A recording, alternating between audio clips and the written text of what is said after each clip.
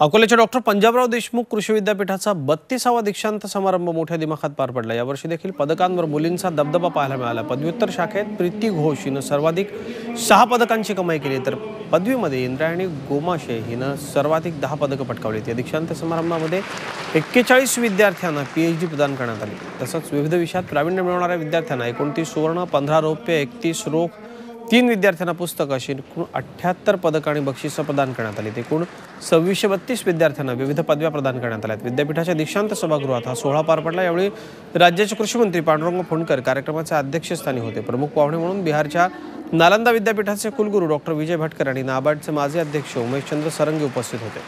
देशाचा विकास करायचा असेल तर आधी खेड्यांचा विकास करावा लागेल असं मत डॉक्टर विजय भटकर यांनी व्यक्त केलं.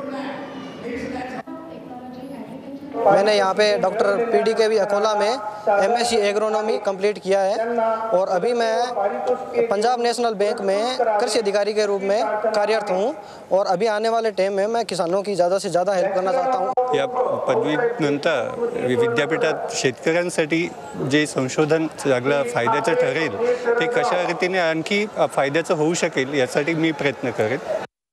झी चोवीस तास रहा एक पाऊल पुढे.